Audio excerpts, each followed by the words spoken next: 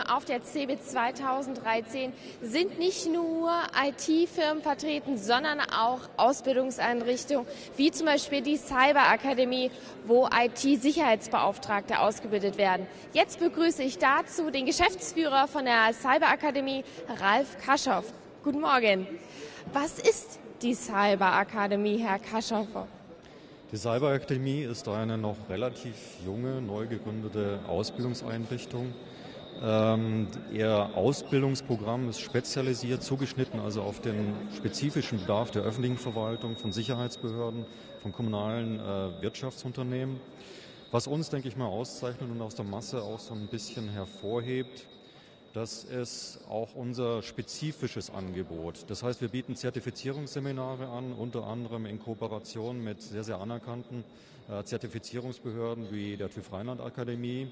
Wir haben im Gegensatz zu vielen anderen keine eigene Infrastruktur oder kein eigenes Lehrpersonal aus folgenden Gründen. Zum einen wollen wir am Puls der Zeit sozusagen sein und ziehen deswegen oder wählen deswegen die Experten äh, und Dozenten für unsere Lehrprogramme äh, aus Unternehmen, aus der Wissenschaft und aus äh, Verwaltungen letztendlich aus ähm, und bieten das komplette Seminarprogramm sowohl bundesweit entsprechend an, an entsprechenden ausgewählten Konferenzzentren, als auch als spezifisch für den Bedarf zugeschnittene Inhouse-Veranstaltungen.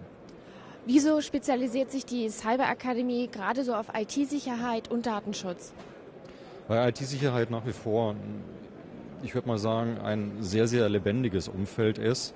Ähm, jeder weiß heutzutage, wenn er in die Zeitung schaut äh, oder wenn er in die Medien schaut, wie rasant sich äh, die Informationstechnologie weiterentwickelt. Jeder hat ungefähr, glaube ich, äh, einigermaßen eine Ahnung, inwieweit das heutige Leben von äh, ja, dem Funktionieren äh, der Informationstechnologie abhängig ist.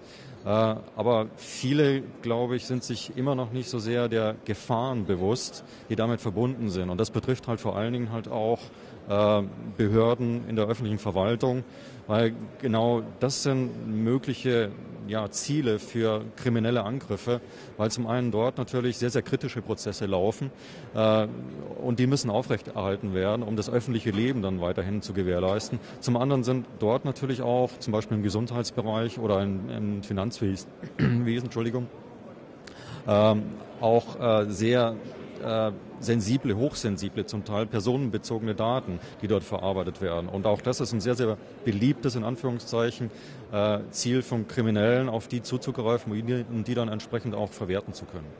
Was sind denn zum Beispiel Seminarthemen? Also was bieten Sie für Seminare an? Wir bieten Seminare auf den unterschiedlichsten Ebenen für unterschiedlichste äh, Mitarbeiter oder auch Führungskräfte in der öffentlichen Verwaltung an. Äh, beispielsweise bieten wir an äh, Seminare für IT-Sicherheitsbeauftragte oder auch für Datenschutzbeauftragte. Äh, das sind Seminare, um Ihnen einfach mal ein Beispiel zu geben. Die gehen über fünf Tage normalerweise.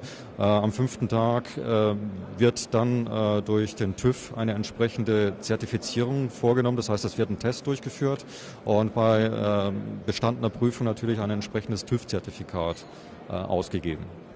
Wer legt die Inhalte fest und Themen, wenn Sie kein eigenständiges Lehrpersonal haben? Wie setzt sich das zusammen? Die Inhalte werden nicht nur jetzt von uns, also von der Cyberakademie selber, von der Geschäftsführung festgelegt. Äh, sie kommen auf unterschiedliche Art und Weise zustande. Ein wichtiges Gremium innerhalb der Cyberakademie ist der sogenannte Programmbeirat. In diesem Programmbeirat äh, sitzen die unterschiedlichsten Vertreter aus den unterschiedlichsten Zielkreisen die wir adressieren. Also beispielsweise, um Ihnen einfach noch ein paar Namen zu nennen oder ein paar Beispiele zu nennen, äh, ist ein sehr, sehr wichtiges Mitglied für uns, äh, der IT-Direktor aus dem Bundesinnenministerium, Martin Schallbruch, der hier mitwirkt. Wir haben verschiedene Staatssekretäre aus unterschiedlichen Länderministerien, die sozusagen auch den Bedarf in den unterschiedlichen Bundesländern mit einbringen können. Wir haben natürlich auch wissenschaftliche Partner mit an Bord im äh, Programmbeirat, die die aktuellen wissenschaftlichen Trends, vor allen Dingen technologischer Art, in das Programm mit äh, einbringen können, also wie zum Beispiel jetzt Fraunhofer Fokus, um auch hier nochmal ein Beispiel zu nennen. Und wir versuchen natürlich auch in weiteren Schritten internationaler zu werden. Deswegen äh, sind wir auch froh, dass wir seit kurzem auch äh, von EC3, das heißt vom European äh, Cybercrime Center EC3 in Brüssel einen anerkannten Vertreter, nämlich den Assistant Director, den Herrn Oerting, äh, mitgewinnen konnten, hier mitzuwirken. Wie groß ist denn der Bedarf eigentlich noch an IT-Spezialisten in Behörden? Der Bedarf, würde ich jetzt mal ganz vorsichtig schätzen, ist sehr, sehr groß.